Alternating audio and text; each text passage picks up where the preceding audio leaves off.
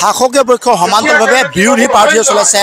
ব্যাপক নিৰ্বাচনী প্ৰচাৰ আৰু এই মুহূৰ্তত আমি উপস্থিত আছোঁ চি চি বৰগাঁও সমষ্টিৰ অন্তৰ্গত নৰুৱা থানাত আৰু নৰুৱা থানাত তৃণমূল কংগ্ৰেছৰ প্ৰাৰ্থী ঘনকান্ত চুতীয়াৰ প্ৰচাৰ চলাইছে। যিহেতু তৃণমূল কংগ্ৰেছৰ ৰাজ্যিক সভাপতি বিপুন বৰাই আৰু ঘনকান্ত চুতীয়াৰ হৈ যিটো প্ৰচাৰ অভিযান চলাইছে আৰু যিহেতু ভালেসংখ্যক ৰাইজৰ উপস্থিতি বিপুন বৰাই এই প্ৰাৰ্থীগৰাকী হৈ প্ৰচাৰ অভিযান চলাইছে। আৰু আমি দেখুৱাইছোঁ যে ইয়াত ইতিমধ্যে বিৰোধ শাসকীয় পক্ষৰ যিহেতু প্ৰাৰ্থীগৰাকী তথা শাসকীয় পক্ষৰ যথেষ্ট সুচাৰুৰ পৰা দেখা লৈ গৈছে আৰু যিহেতু ভালেসংখ্যক লোকে ইয়াতে বা এই সভাত যিহেতু বিৰোধী ভাগত অংশগ্ৰহণ কৰিছিলেহি আৰু এটা কথা উল্লেখ কৰিব লাগিব যে যিহেতু লখিমপুৰ লোকসভা সমষ্টিটোত ইতিমধ্যে যিহেতু নগৰাকীকৈ প্ৰাৰ্থীয়ে নিৰ্বাচনত প্ৰতিদ্বন্দ্বিতা আগবঢ়াইছে আৰু মূলতঃ এইবাৰ যিখন আচলতে নিৰ্বাচনী যি যুঁজ সেই যুঁজখন আচলতে এক প্ৰকাৰ তিনিকুণীয়া হোৱাৰ সম্ভাৱনা হয়তো দেখা গৈছে। কাৰণ ঘনকান্ত চতিয়াইও সমষ্টিটোৰ চুকে কোণে বিভিন্ন স্থানত নিৰ্বাচনী প্ৰচাৰ অভিযান অব্যাহত ৰাখিছে আৰু তৃণমূল কংগ্ৰেছ কংগ্ৰেছে এইবাৰ বা এঘৰি যুঁজাৰ লক্ষ্য নিৰ্ধাৰণ কৰি লৈছে আৰু আমি যিহেতু ইয়াতে যিটো ৰিপুণ বৰা আছে আমি তেখেতৰ পৰা জানিবলৈ চেষ্টা কৰিম। প্ৰাৰ্থীগৰাকী আছে আমি তেখেতৰ পৰা কিছু জনাৰ চেষ্টা কৰিম। তেওঁ যিটো বিভিন্ন পাৰ্ট আজিৰ দিনটোত আপুনি কেইবাখনো নিৰ্বাচনী প্ৰচাৰৰ মাজত অংশগ্ৰহণ কৰিছে ৰাইজৰ কেনেধৰণৰ সহায় ৰাখিছে আৰু এইবাৰ তৃণমূল কংগ্ৰেছৰ লখিমপুৰ প্ৰাৰ্থীগৰাকীক লখিমপুৰৰ সমষ্টিবাসীয়ে কিয় ভোট প্ৰদান কৰিব লাগে সঁহাৰিটো প্ৰথম কথাটো সঁহাৰিটো অতি যোগাত্মক। আৰু বিপুল সঁহাৰি পাইছোঁ সকলোতে কাৰণ ৰাইজে ৰাইজৰ এটা আস্থা হৈছে তৃণমূল কংগ্ৰেছৰ ওপৰত এইকাৰণে যে গোটেই ৰাইজে এতিয়া একমাত্ৰ বিজেপিৰ অত্যাচাৰৰ পৰা পৰিত্ৰাণ বিচাৰিছে। আৰু বিজেপিৰ এই অন্যায়ৰ পৰা পৰিত্ৰাণ পাবলৈ ৰাইজে এটা শক্তিশালী বিৰোধী দল বিচাৰিছে।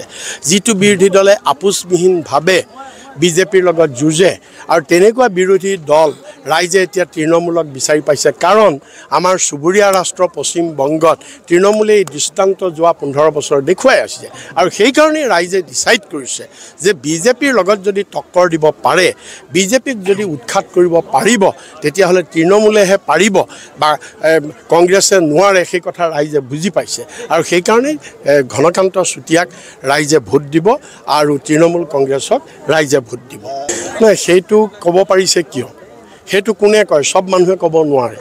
যাৰ ডি এন এ বুলি কয় আমাৰ যাৰ শৰীৰৰ ডি এন এত হিটলাৰৰ তেজ থাকে স্বৈৰাচাৰীৰ তেজ থাকে তেওঁলোকে কয়। কাৰণ তেওঁলোকে গণতন্ত্ৰত বিশ্বাস নকৰে। গণতন্ত্ৰত বিৰোধী শক্তিশালী হ'ব লাগে সংবিধানে কৈছে।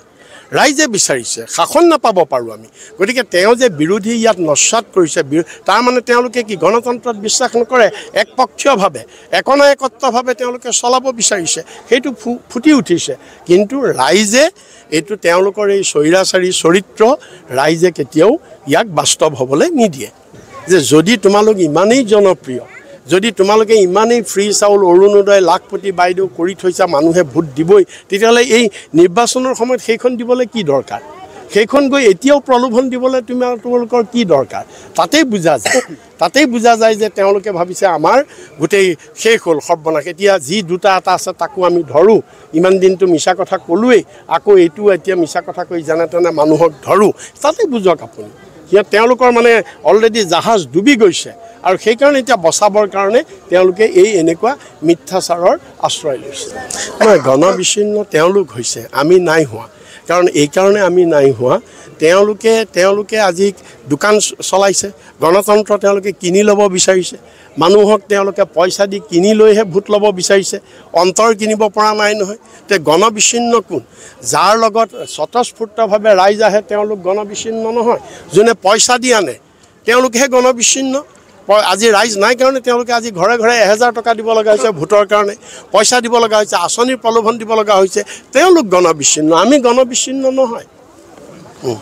আছিল তৃণমূল কংগ্ৰেছৰ সভাপতি ৰিপুণ বৰা। তেওঁ ইতিমধ্যে যিহেতু শাসকীয় পক্ষই যথেষ্ট আচলতে কটাই বা আচলতে তেওঁলোকক কটাক্ষ পৰিলক্ষিত হৈছে। আৰু এনেধৰণে এতিয়া এই বিৰোধী প্ৰচাৰ অভিযানত দেখা গৈছে। তৃণমূল কংগ্ৰেছৰ প্ৰাৰ্থী ঘনকান্ত চুতীয়া হৈ ৰাজ্যিক সভাপতি তৃণমূল কংগ্ৰেছৰ ৰিপুণ বৰাই বিভিন্ন স্থানত সমষ্টিটোৰ চুকে কোণে প্ৰচাৰ অভিযান চলাইছে।